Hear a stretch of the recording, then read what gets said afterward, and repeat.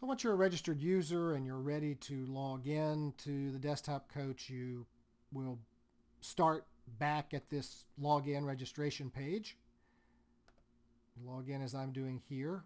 That takes me immediately to the desktop coach and the welcome page. You can also see that there's now a menu on this left hand side of your screen that is your access, is your gateway to all of the features of the desktop coach and all of the things that it does to support your work with your talent.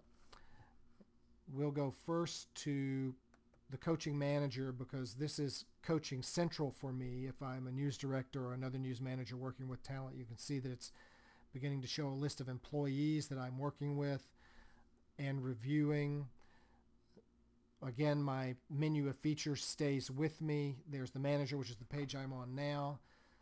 Access to the coaching calendar, which we will look at in detail later, but you will see that the system automatically schedules future coaching sessions and keeps track of them for you so that you can be sure to follow up with people as you progress in your work with them.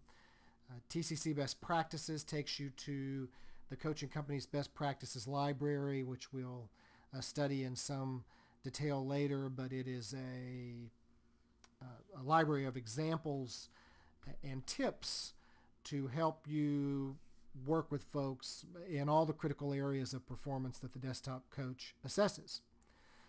Let's start while we're one other thing to notice about this is you'll notice that um, on all of these pages inside the coaching manager you will see an employee listed you'll see a series of icons out to action icons out to the right which you use to manage your work with that employee and an explanation of those icons is always included at the bottom of the page so Next to each of my employees here, I've got an icon for tracker history. That's the page where all of my reviews for that person and the reports that I have stored for that person uh, reside. Uh, complete tracker is the command that I give when I want to complete another performance tracker on an employee in anticipation of my next review with that person edit employee uh, gives me the option to change, change information related to that talent. And then, of course, delete employee uh, gives me the option of deleting that employee when they're no longer uh, part of my uh, team or a concern in this particular system.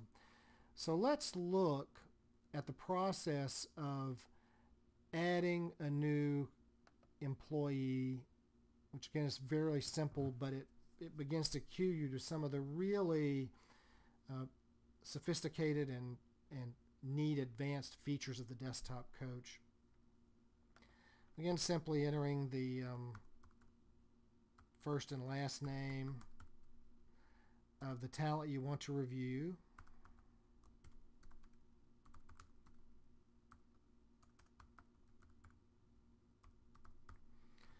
And you'll notice the coach asks you to indicate whether uh, this talent is male or female. That is because the one thing the system is going to do is it's going to rate performances of your people against performances of like people already in the system.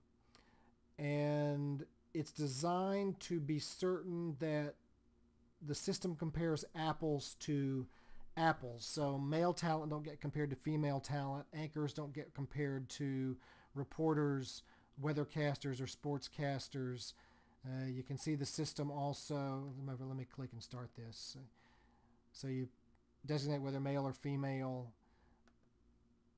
what role the person plays in your newsroom, what day part they work uh, most or what day part you'd prefer to review them for,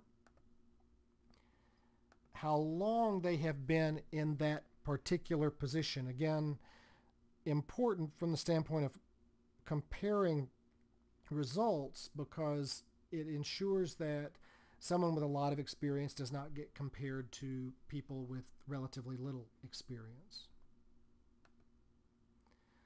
And then finally, you're asked to tell the system how frequently you want to review this particular employee. That will then tell the system what it needs to automatically schedule future reviews for you and advise you about them.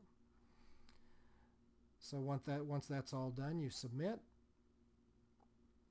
System tells you that the details were inserted successfully and you're now ready to uh, manage your work with that employee. You can see Bill as uh, listed here.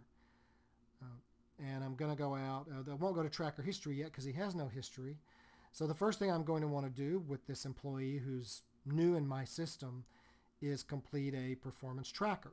And I click the little icon there and it takes me to the breakthrough performance tracker and now I'm ready to begin the process of comprehensively assessing this employee's performance.